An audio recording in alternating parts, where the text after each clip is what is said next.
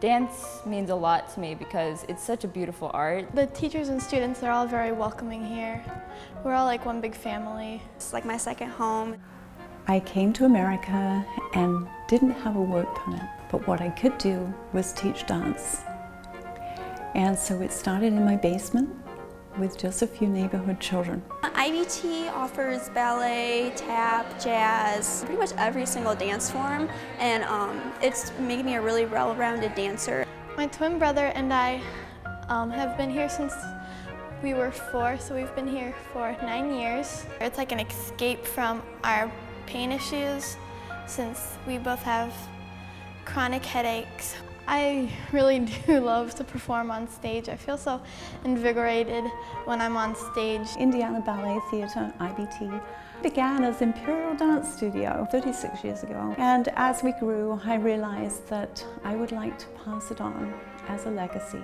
Working with Miss Turi is pretty cool because she's really sweet. The way she would speak to you is just always really nice. It all began from the dreams of the children. And as they've said, well, I want to do this, but I can't afford to do that, I would think, how can I help them make this happen? And it's just expanded from that. My daughter has her own little fan club. It's been quite a transformation to see her grow in her dancing and um, her love for dance as well. My experience at IBT has helped me to be more helpful, not just in dance, but in school and helping younger students all around me. The vision was small to begin with, to get out of my house with the costumes and a place for Indiana Ballet Theatre to call home. But um, then the, the vision expanded, so we were looking for somewhere larger. And what better, being from England, than uh, a Georgian revival house that actually used to house nurses that took care of the tuberculosis patients that was part of this whole sanatorium complex. Having been introduced to uh, who actually owned the building at the time, which was the Lake County Commissioners. Seven months later, they finally did uh, donate the building to Indiana Ballet Theatre to renovate for the arts. It seemed just the perfect place to bring us all together. The Classical Arts Center will be a place where we are offering the arts to the community. So there'll be stuff like art, ballet and dance, and music.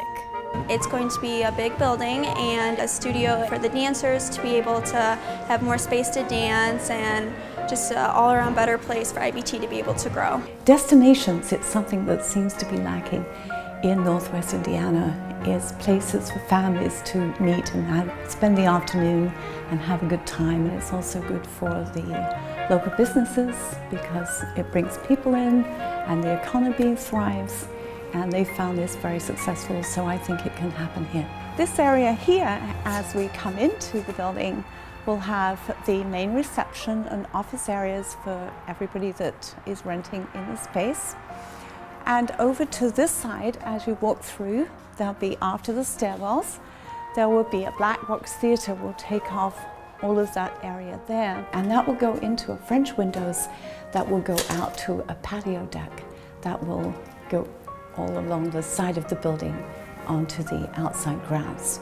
So I think it's something that is needed and has been needed for a long time in Northwest Indiana. Being able to showcase other arts and other studios and other forms of dance in the Classical Arts Center. It's not just about IBT, it becomes about showcasing the rich diversity of arts we have in Northwest Indiana and I think the Classical Arts Center is the place that's going to do it. The focus right now is on expanding the region's vision for a better quality life. And so that, that does bring your families together in all walks of life and brings each region together. We'd like more people in the community uh, to get involved and give back to the community. We really need to step up and have this happen in Northwest Indiana.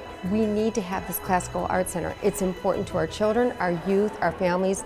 Even though people weren't used to modern dance here in Northwest Indiana, and we kept trying. We've done many shows, and now I find that there's such a great acceptance and appreciation in Northwest Indiana for modern dancing as well as the other forms. I think the proudest day will be that we open the doors and welcome people into this building, fully renovated, and we've saved history and shared it with the world.